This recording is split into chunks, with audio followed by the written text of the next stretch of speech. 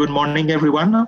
I'm very happy to be with you today. I'm, uh, my name is Stéphane Jaillet. I'm the CEO of OpenSphere.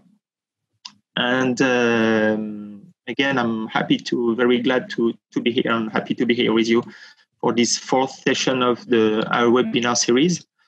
Uh, let me introduce you to someone that you should be familiar with now. For those who have attended our previous sessions, welcome on board, Martin. You are the CTO of uh, Nclose, and today you'll be the main speaker of this session. How are you today, Martin? Good, good. I'm very well. Thank you, Stefan. Uh, thanks for having me uh, today on the webinar. Glad to be here too. So, uh, before starting, uh, let me tell us, let me tell you, sorry, a few words about uh, our companies. OpenSphere and, and uh, Nclose are uh, similar companies. We both have been providing cybersecurity services for uh, more than 13 years now.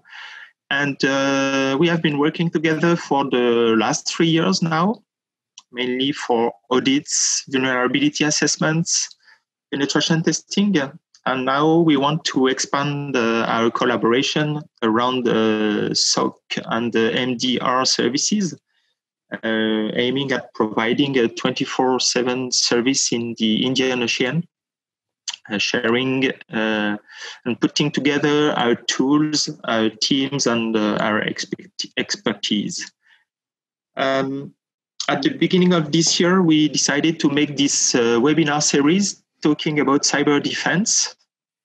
In the first session, we discussed a difference between uh, SIEM, SOC, and the MDR, and um, trying to explain why traditional SOC is failing due to alert fatigue, for example, and uh, also due to the fact that uh, the, the SOC is uh, mainly relying on a SIEM, uh, which is a tool to which has to be very uh, well parametered, and that's uh, sometimes not the case.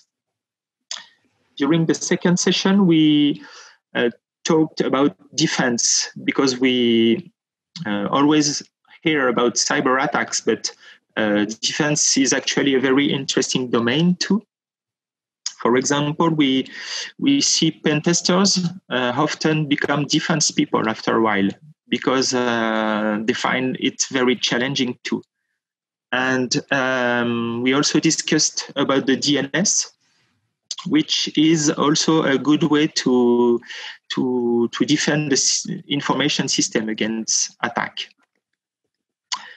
Uh, the third uh, panel, the third session was a panel discussion talking about uh, red team and uh, blue team versus blue team, and also how the CISO could use both team both teams in order to have the better uh, risk coverage uh, in the in the in his system. So uh, during the, the three the first three sessions, we had many questions, and sometimes we had questions about AI and behavioral analysis provided by uh, some SIEM and uh, vendors.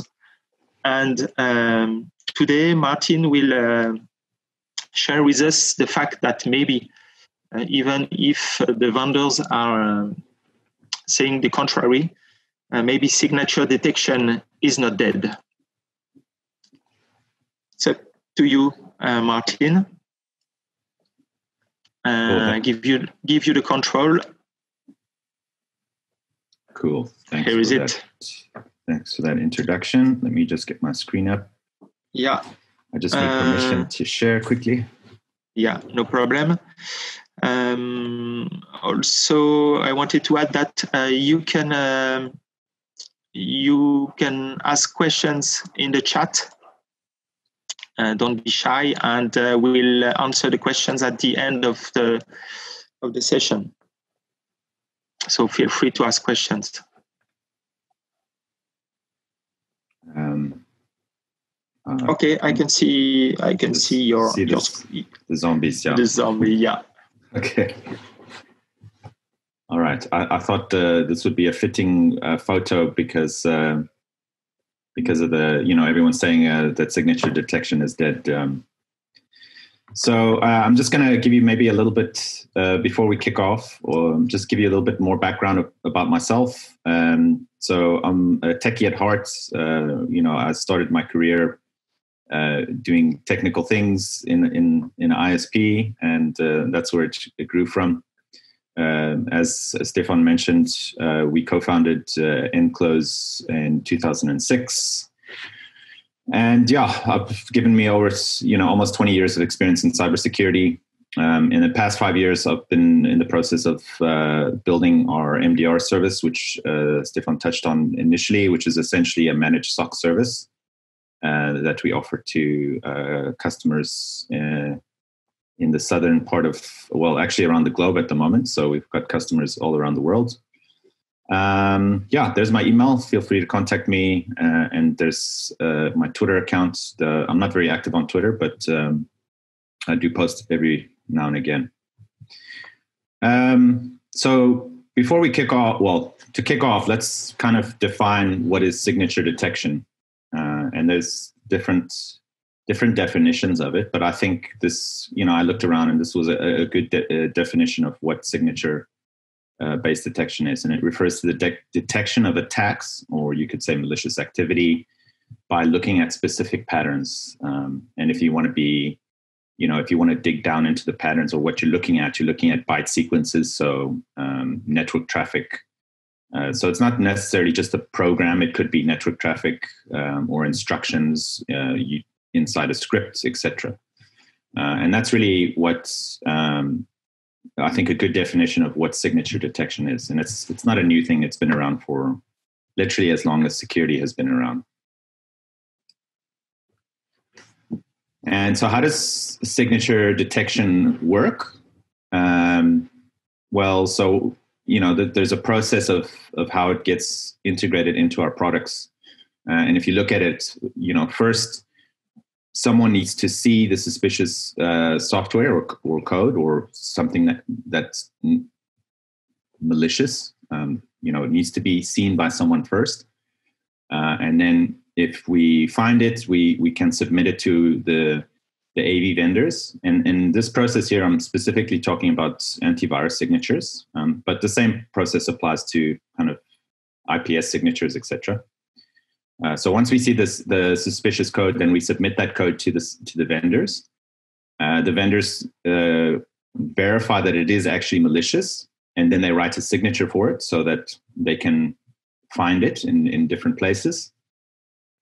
And then once that signature is uh, written, then it needs to get distributed back to the network of AV installations. Um, and then once it's distributed, then uh, it gets applied.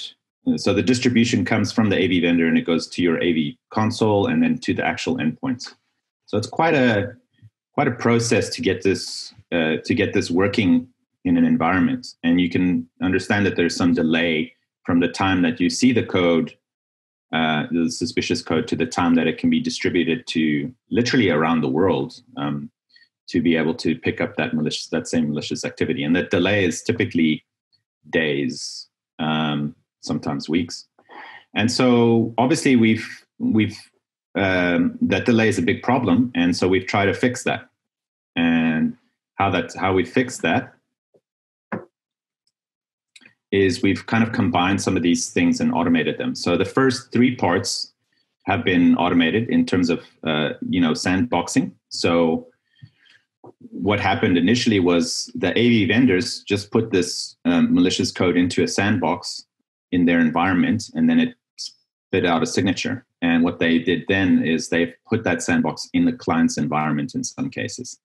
So that really speeds the process up in terms of generating that signature and then also the distri- distribution uh, has also been sped up uh, by making it accessible directly in the cloud. So instead of uh, sending that signature to get into the AV vendor and then back out, it's just available in the cloud, and then we check in automatically into the cloud to update our uh, to get the signatures, or even just to check uh, via hashes directly the files. And ultimately, a lot of this technology can now move on site. So the signatures can be almost uh, instantaneously. As soon as we have find malicious code, we can, you know, the systems are available now that can just automatically have the signature detected uh, or signature available in your environment as soon as you see the suspicious code. so there definitely has been some sort of uh, improvement on how signatures uh, or some efficiency improvements in terms of how they get generated and distributed.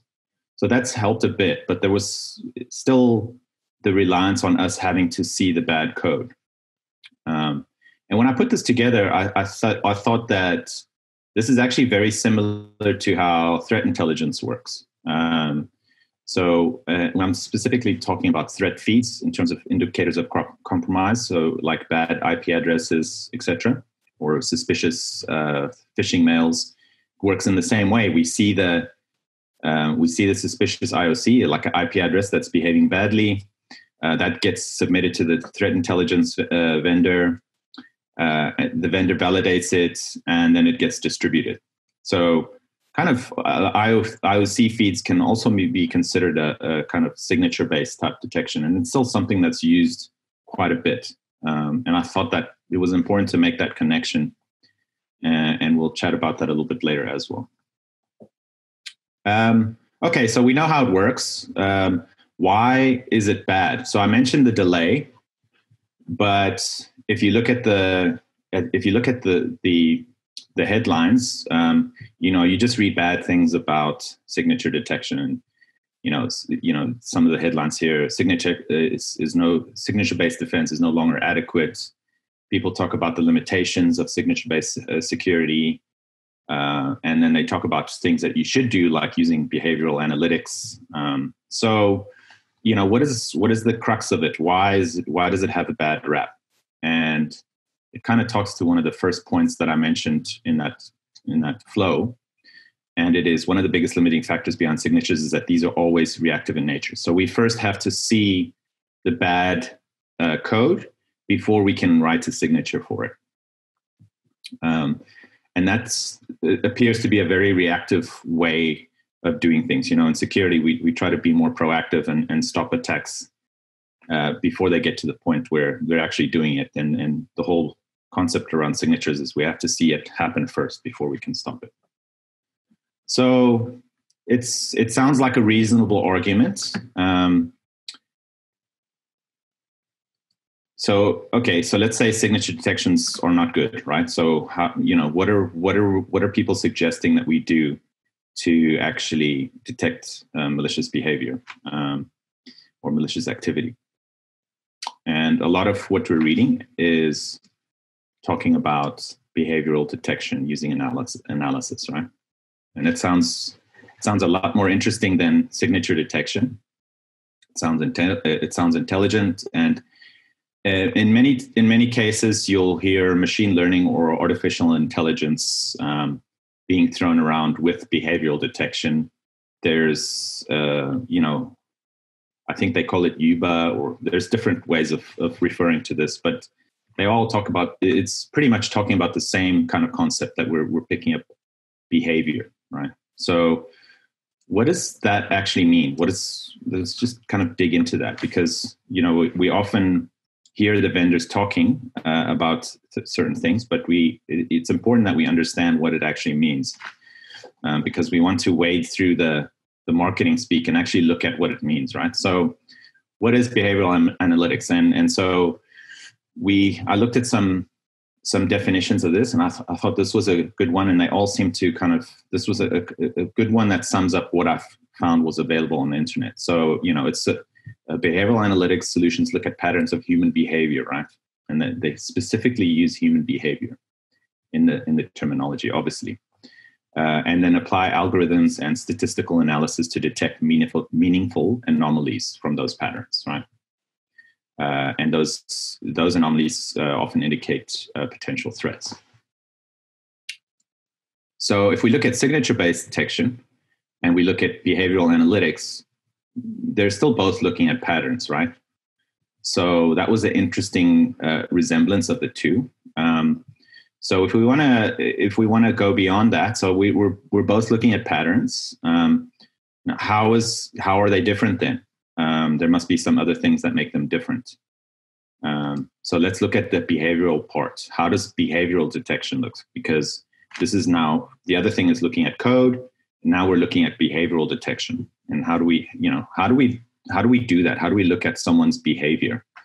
Uh, it sounds like you know um, it sounds like a difficult thing to do. You know you can't have a camera on the person and, and see what they're doing. That doesn't make sense. Uh, how do we how do we understand what they're doing in their behavior?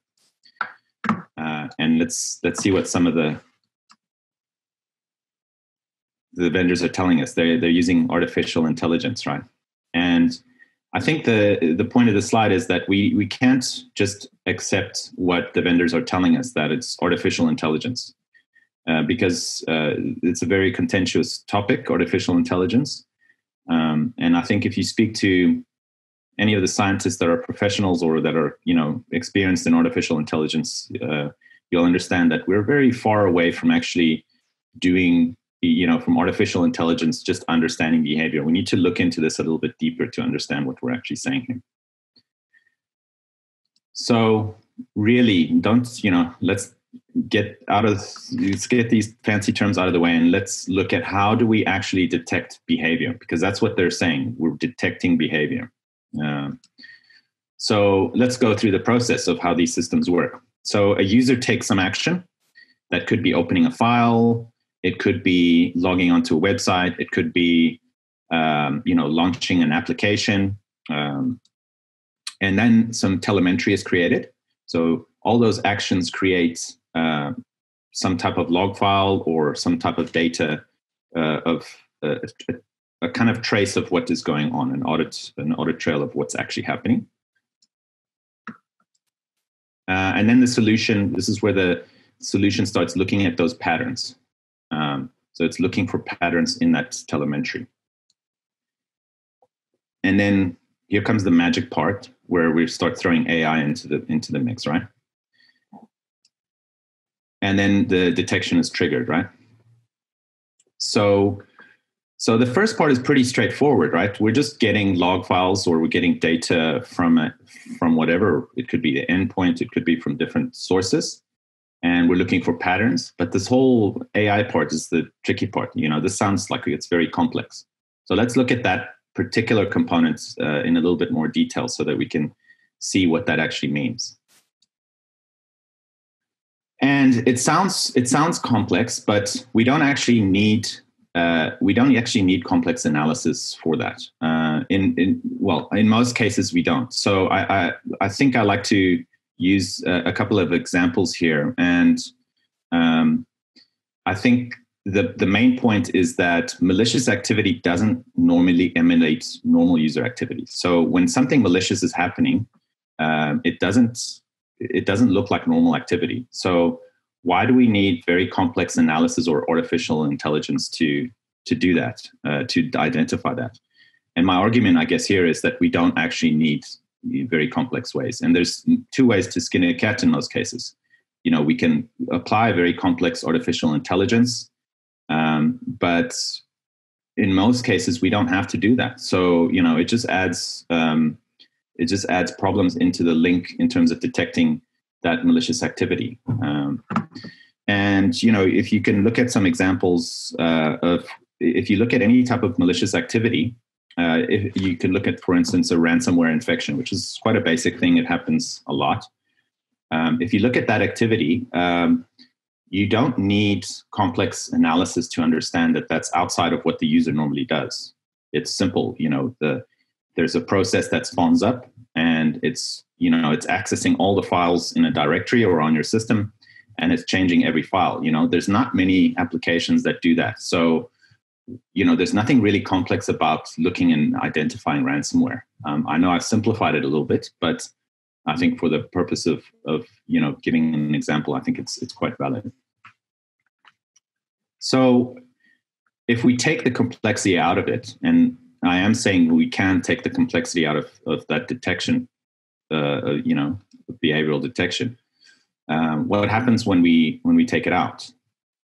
Uh, it just starts looking like normal signature detection. So uh, I think this is the crux of the matter. This is just we're actually just looking at normal signature detection, and the AI is is kind of just marketing speak in terms of uh, the vendors trying to get us to believe that the solution that they're selling is is needed to be able to detect this uh, type of activity. Um, yeah, so I suspect that some vendors may disagree with me on that, um, but I think it's certainly something that needs to be debated, and I, and I encourage everyone to, you know, if they if they have a, someone coming to them talking about artificial intelligence, uh, don't be scared to ask them, okay, tell me about this artificial intelligence, you know, uh, and be cautious uh, about some of the terms. Um, you know, they might start throwing uh, neural networks, machine learning, and all those terms around to to scare us off. Um, but don't let that uh, detract you from asking those tough questions because you'll find in many cases that as soon as you start asking those uh, tough questions that uh, the vendor is going to crawl back under a rock and, and, not be able to answer those or refer to a higher power in the organization so the data scientists and they'll be able to explain it. Uh, and keep pushing for that answer uh, to understand what you actually what the what are they actually promising you? Uh, it's very important that you do that because you don't want to be sold something that's not doing uh, what it says it does.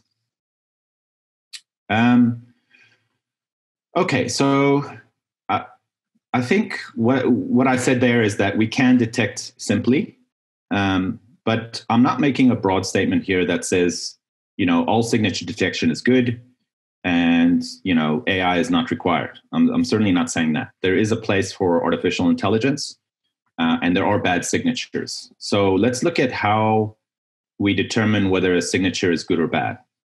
Um, and this is where the threat intelligence example that I used earlier comes back into play here. Um, if we if we look at the this is the pyramid of pain, which has been around for probably seven years or so, if I'm not mistaken.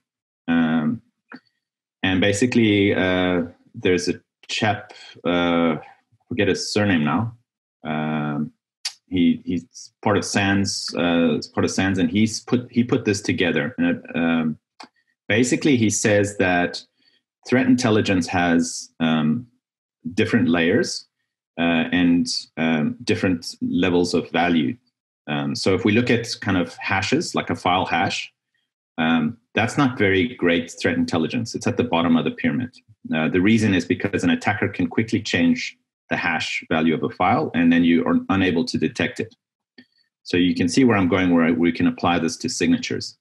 The same with an IP address. We know that attackers uh, move IP addresses all the time. As soon as you mark an IP address as bad, then they will get another IP address uh, that's not blocked. Um, so as we go up the, the, the, the pyramid here, domain names, yeah, it's still pretty fairly easy to, to change. Um, and we start looking at artifacts, which is little bits of information left on, on machines. This is now getting uh, more difficult for an attacker to change. Um, and then if we start looking at tools, uh, you know, for an attacker to write a new tool is quite a is quite an undertaking. So uh, we don't, you know, if we can start detecting at that level, uh, then it becomes uh, more difficult for the attacker.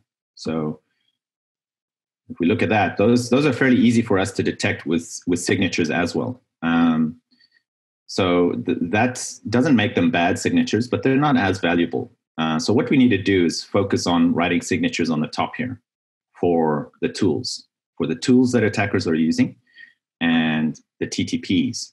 Now, this is taking a different approach to to signatures because typically we are writing uh, signatures for for you know bits of code and you know that's where AV focuses on, um, and that's really at the lower part of the pyramid. So we, you know, they are there is still a use for them, but they're not as valuable as uh, they don't make it as difficult for attackers as if we're writing signatures for the top bit of the uh, of the of the pyramid.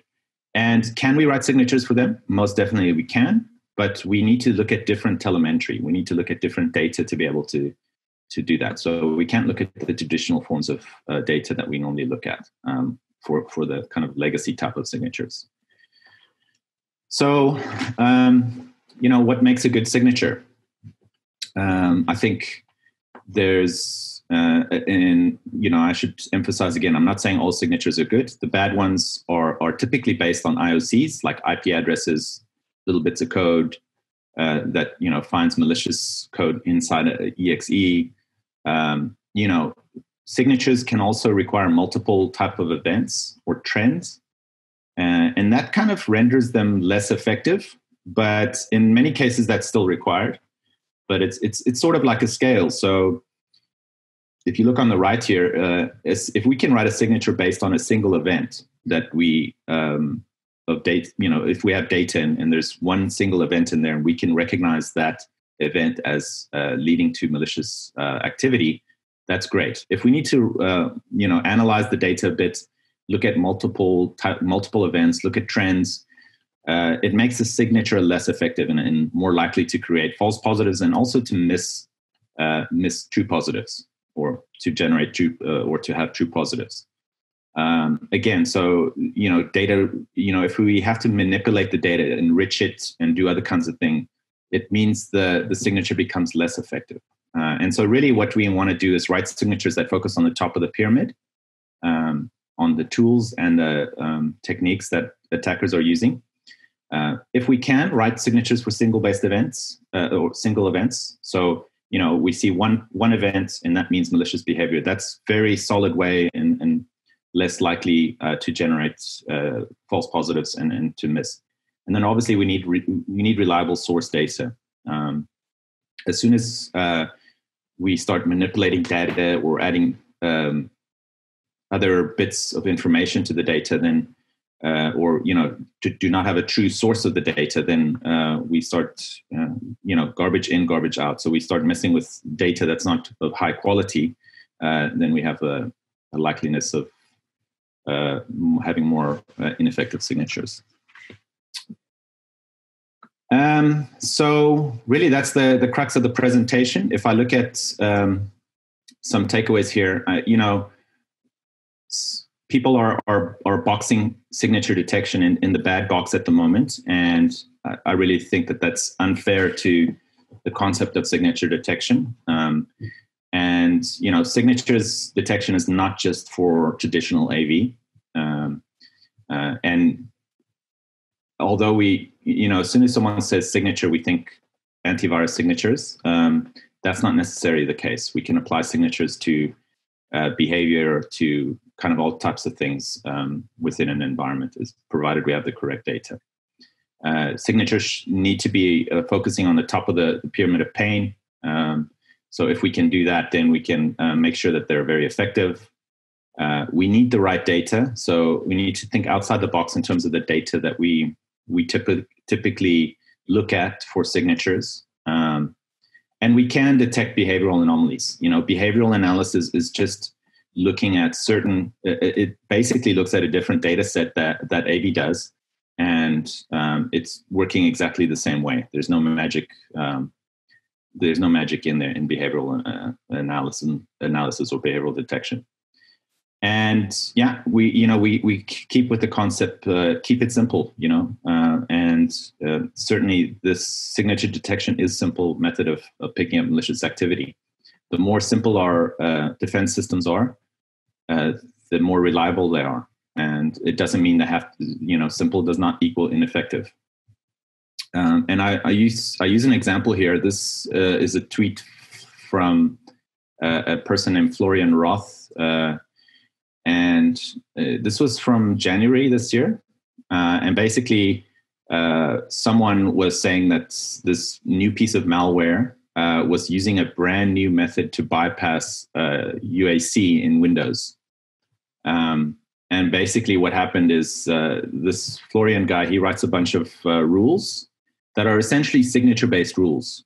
Um, and he wrote a rule in 2017 that already picks up that exact same activity. So you know the vendors are saying this is brand new activity, you know, and and he's saying here, well, you know, we've had this detection for uh, you know for three years now. So uh, we don't need behavioral analysis. We can pick up this type of activity with a very simple signature based rule. Um, and this is just an example of uh, some of the, the ways that we can use signature detection to, to pick up uh, malicious activity. And that's a wrap. I don't know if uh, we've had any questions uh, or comments. I kind of uh, sped through that uh, presentation quite quick. I hope I wasn't. Martin. I hope I wasn't going too fast. oh, I don't think so. Um, I see Serge have uh, joined us. Hi, Serge. How are you today? Yeah, I was late. Thank you. I'm fine. Thank you. No problem. Uh, I want any, anyone to notice, but thank you. no, I lost maybe five minutes. Thanks, thanks a lot, Martin, for, for that. Uh, very, very interesting. And, and yes, signature is, is not dead yet, but uh, we need to consider a new way to, to, to make detection.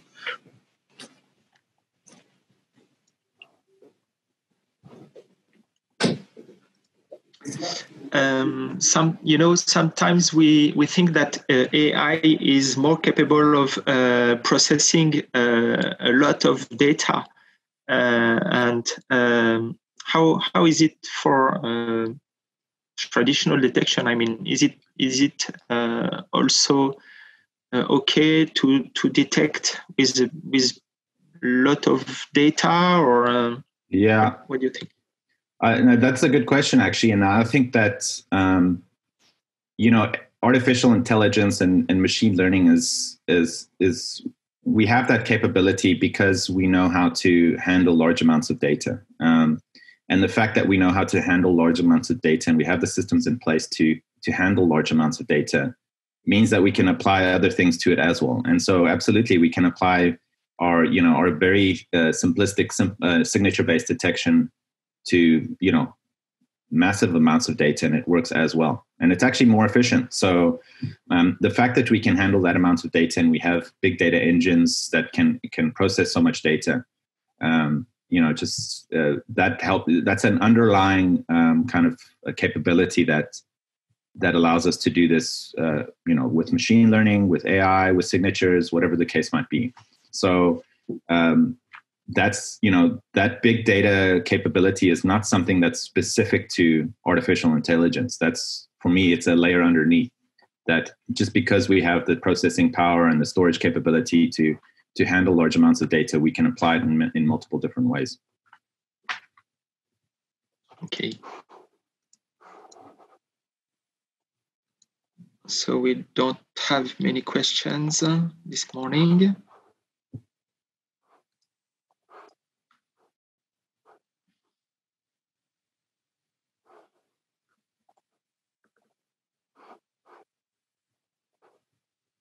Serge, don't have something to to ask uh, Martin? I don't have any specific questions. I think we are quite aligned with with Martin. I, I don't like that much talking about artificial intelligence because I, I think this is a thing where we are not able to do now.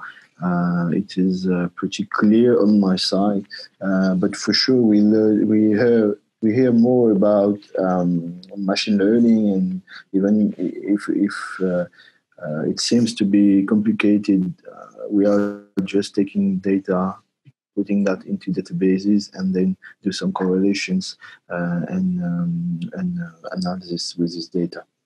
And uh, for for for some vendors, it works at some point. It depends what what you're looking for but I agree with, with Martin when saying we need a combination of detection uh, tools, process, and, and analysis. Uh, and this is the point. Um, we don't have any uh, any solution uh, now working without signature detection, uh, only based on so-called AI or, or, machine learning. Uh, they all use signature detection um, as a standard, and then add a few features we don't have that much feedback about. And still on the field uh, we need we need to, to, to check how efficient it is uh, and if it's re- really the, the machine learning or the or the AI uh, which is bringing uh, the value or not. And this part is not clear for now. Yeah I I um I read an article probably about two months ago about um, the investment in, in artificial intelligence uh, within larger corporations, uh, and that it's actually that they're actually tapering it down now uh, because of budget cuts. Um, and you know, organizations are seeing it as a long term thing, and and with uh, the pandemic and, and kind of business slowing down for most organizations, uh, they've decided that you know the return on on that investment may not be realized as quickly, and and money is, is spent better elsewhere. So you know, I'm wondering if the hype cycle around the artificial intelligence, you know, if you look at the last 18 months, uh, people hiring, you know, data scientists uh, to help with with uh, artificial intelligence and, and, helping organizations manipulate data and get uh, intelligence out of it. Um, you know, I'm, I'm, wondering if that hype cycle isn't um, is going to taper down uh, over the coming uh, over the coming months. Um, because people are asking the vendors the tough questions about you know what is this artificial intelligence? It's been you know it's it's it's had a, a period of time now to to showcase to customers and i think a lot was promised and i'm not sure if, if all the vendors can deliver on those promises. So um, again uh, you know i'm i'm just wondering if it's it's painting a you know I'm very critical of artificial intelligence, but I do think it ha- it has its place, uh, and I think unfortunately that a lot of uh, what's happened is is kind of going to paint a bad name for artificial intelligence, um, because you know because of those promises that were made, and and customers are not going to see the reality of those, um, and then they're going to have a bad taste in their mouth. So I'm kind of fearful for that happening because I, like I say, I, I do think that there is. Um, value in artificial intelligence, but uh, some of the stuff that was promised uh, is uh, is not realistic, and I think um, customers are are going to realize that uh, eventually. Yeah, if anyone has any questions, they can obviously email us, um, and yeah. we'd be happy to to take up a discussion uh, offline. Okay, so I think uh, we'll stop here for today. Again, uh, thank you very much, Martin. Thank you for having us. And uh, for everybody, we will uh, send you a link for the replay. And uh, also, the last three sessions are also available on uh, replays. So Uh, feel free to ask if you haven't uh, uh, saw it yet. Thank you very much, guys. Uh, see you on the next session. Thanks, thanks, Stefan. Thanks, everyone. Have a good day. Okay. Have a good day. Bye-bye. Bye. Thanks, you too. Bye.